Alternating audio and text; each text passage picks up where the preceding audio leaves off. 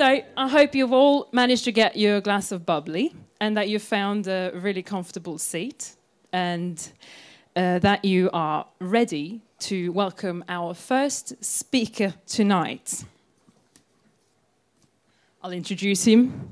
Thomas Schubert did his PhD in Jena, Germany, on social cognition and intergroup relations. Then he wandered through Europe, stopping in Würzburg, Amsterdam, Utrecht, and Lisbon before he started as an associate professor at the University of Oslo two years ago. He is interested in the cognition and emotion, or thinking or feeling, if you will, that is involved in social relations, both between individuals and between groups. And most of his work is on the cognition side of things, which might sound profoundly cerebral, but Thomas actually has a special interest in the body and how that affects this type of cognition.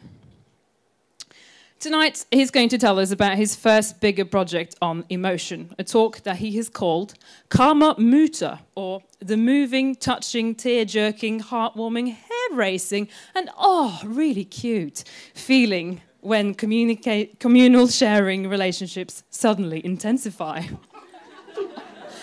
I took the whole thing in because I thought it was really good fun. Yeah, so please give him a warm welcome, Thomas Schubert.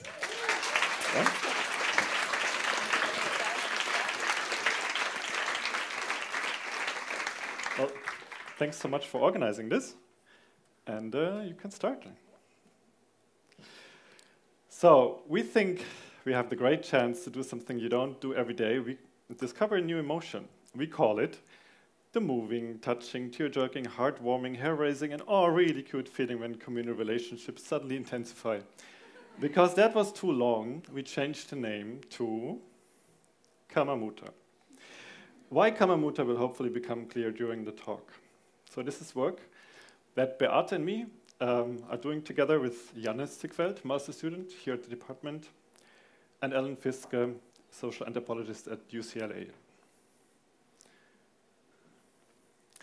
So to give you an idea what emotion I'm talking about, let's watch a clip about a girl. She's a bit hard to understand, so I put the subtitles there. Hi, my name is Hina Eshik. I'm 10 years old and I go to Randolph Elementary School. My dad, Master Sergeant Joe Myers, is in Iraq right now.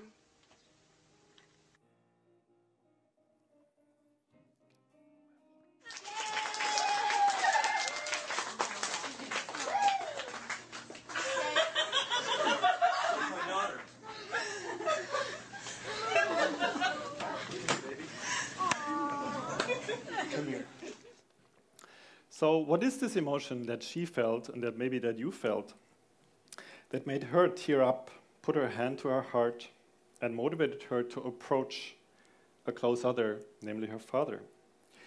In English vernacular, people call this being moved or being touched. The internet is full of videos and photos that cause this emotion, and people love sharing them. Maybe you have shared them. In psychology, however, this emotion is not very much studied, almost not at all. And there's no comprehensive description or theory about this emotion. Well, maybe it's too unimportant and too infrequent to study.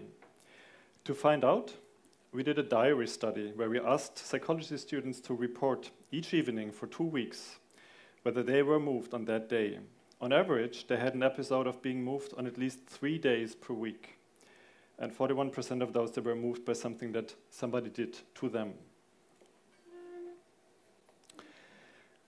So to describe a new emotion, um, we need to define them, and they're complicated. We can understand emotions as coordinated changes in appraisals of the situation, of bodily states, of affective feelings, of motivational tendencies that are typically labeled and evoked in cultural practices. It's a long definition. Let's start with language. We checked out 20 languages marked on the map here and almost always found equivalents of the English terms. In Sanskrit, the term is kamamuta, literally meaning moved by love. This is the term we use to name our psychological concept and to distinguish it from the vernacular term being moved. It is, moved, it is evoked in cultural practices all over the world. We have found ethnographic reports, reports of practices showing that. And we build on these ethnographies to understand this emotion. Let's move to the appraisals, maybe the core of emotion research. Regarding appraisals, what all the situations causing Kamamuta share or seem to share is that people are coming together and form or intensify communal bonds. That can mean experiencing the intensification of your own relations or observing them in others. Data supporting this come from two online studies that we conducted, in which we asked almost 400 participants to watch 20 different videos and report on their feelings, experienced uh, bodily symptoms, and the appraisals that they formed about the video. So in total, we collected data from almost 1,500 video impressions. When we analyzed this in multi-level regressions, we found that the appraisal, people got closer together during what I saw, predicted being moved significantly, strongly, and consistently across the studies. Other appraisals were also significant predictors, but uh, today I don't have time to go into those. In a further study, we showed moving video clips and asked participants to either continuously rate their feeling of being moved or to continuously judge how close the people in the video were to each other. And then we analyzed this with um, uh, cross-sectional uh, uh, correlations and time series analysis.